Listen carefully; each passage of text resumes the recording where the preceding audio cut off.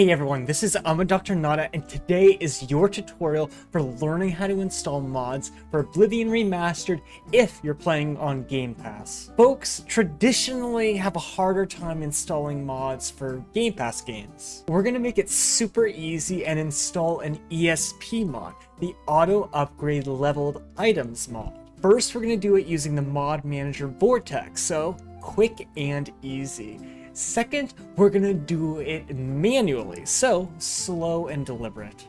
Like and subscribe, and let's go. For step one, we need to get Vortex all set up for your game. I'm assuming that you've already installed it, so launch it and go to your Games tab. Then search for Oblivion and make a game profile from it by selecting the Manage It button. If you're asked to create a new profile while also asked to provide a manual folder location, you can use the path shown on the screen. And I'll wait here for a little bit just so you can pause if you need to. Now you can go to your mod page and click the Vortex button to download it and it will show up in the mod manager. For step three, your mod is probably ready, so you should be able to launch your game.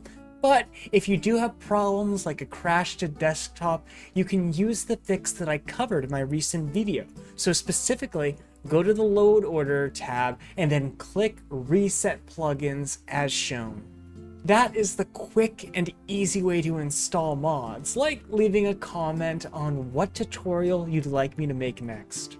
Sometimes though, you also want to install mods manually. Fortunately, this is also straightforward and takes just a little bit of time. For step one, download your mod and extract the files, going into the directory. Then select your ESP file and copy it. For step two, go to the folder where we need to put our ESP files, which is shown on the screen. I'll give you all a few moments here so you have enough time to get to the right place. It's also listed in the video description.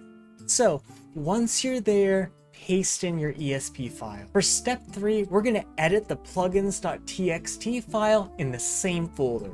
Open it up and then place the file name of your mod at the bottom of the list with the ESP file ending. But naturally, of course, read the mod author recommendations because sometimes you do want to order mods in a particular way. Step 4 is optional, but it might be useful if things aren't working. Some people have reported that making the plugins file read-only can fix some bugs. To do this, right-click on your plugins.txt file, go to properties, and then click the checkbox that says read only, and then click apply and okay. Modding is a fun and a great way to enrich your game. I haven't personally ever played a Bethesda game all the way through without modding it. Ultimately, we're all free to have the game experience that we want and leaves us feeling most satisfied. If you found this video helpful, be sure to like and subscribe. It helps my content a lot. And if you're feeling generous, join my Patreon because it helps motivate me to release content a little bit more quickly.